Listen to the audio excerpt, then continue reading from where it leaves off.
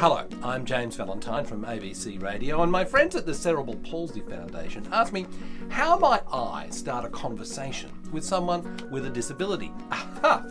The art of conversation. Hmm. May I say how enchanted I am to make your esteemed acquaintance?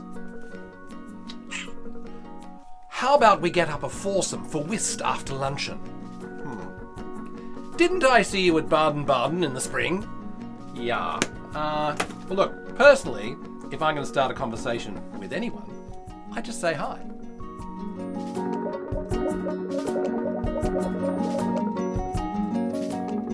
Next time, just say hi. It's as easy as ABC.